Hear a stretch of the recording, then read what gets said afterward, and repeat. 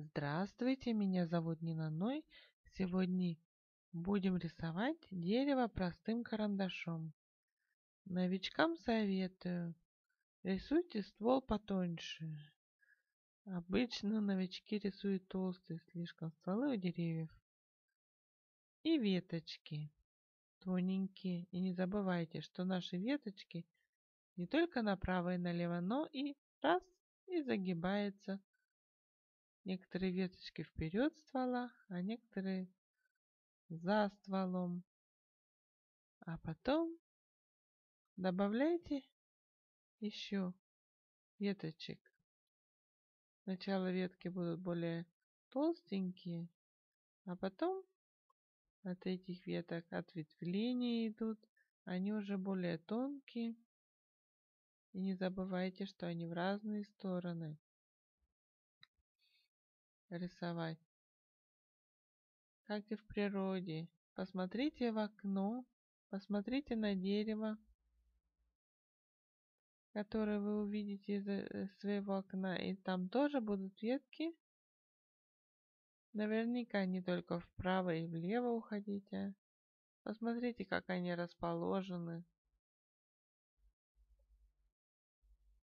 Да и также делайте. Посмотрите, как они растут. И вы делаете так же. Лучший способ нарисовать дерево это выйти в лес и посмотреть на деревья, как расположены веточки, какие стволы у деревьев, какая структура, какая кора. Одна веточка у нас вперед, впереди растет, а другая сзади. Потом немножко ствол как бы мы выделяем наши веточки веточки. Делаем все это почетче, поярче. И добавляем еще. Добавляем немножко тени и новые веточки. Когда вы рисуете красками, там уже, конечно, другая техника совсем будет. А карандашом просто добавляете новых веточек. Веточек, как говорится, у дерева слишком много не бывает. Поэтому не ошибетесь.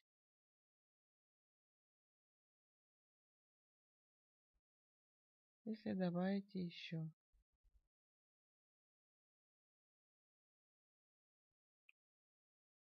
Сначала выделяете ваши, делайте поярче рисунок.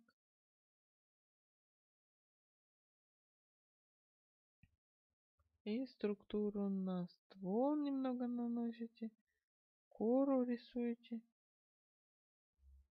Не закрашивайте весь ствол полностью. Оставьте пространство. Нанесите тени.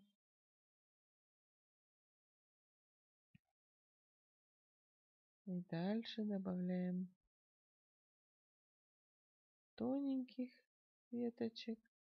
Естественно, на более толстых ветвях сидят у нас тонкие.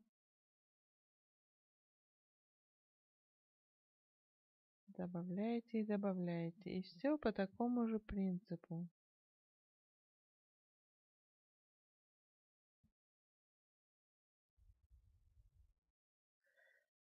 Можно работать бесконечно, добавляя веточки лучше, нанося тени. Тоже как по желанию. Так что если вам нравится это видео, ставьте лайки, оставляйте комментарии, подписывайтесь на канал. Ну, а я буду пока продолжать рисовать свое дерево. Пусть оно получилось у меня унылое осеннее дерево, без листьев.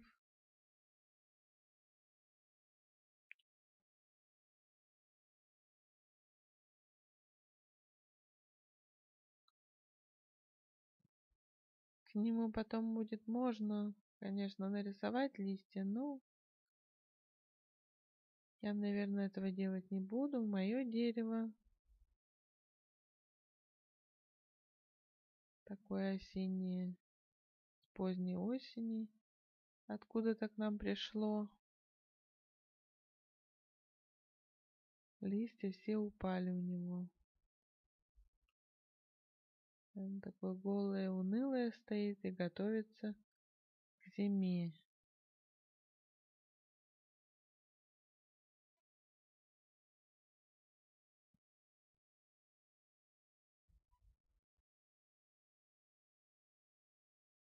Еще добавим веточек, чтобы было поинтереснее. А также выделим кору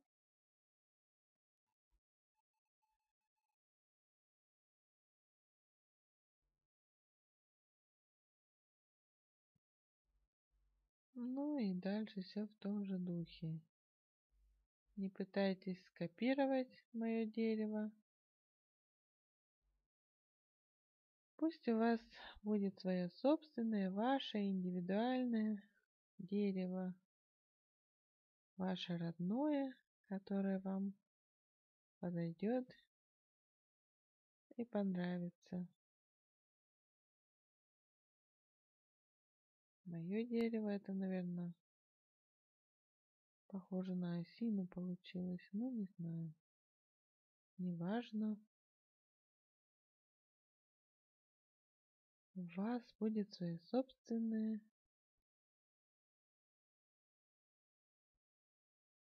Просто в этом видео я хотела показать, как ну, это просто пример одного какого-то дерева, жухленькой травки еще добавим такой осенний.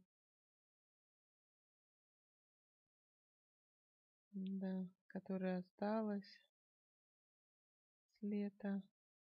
И немножко корневой системы добавим корешочков, ведь оно должно же твердо стоять в земле, не упасть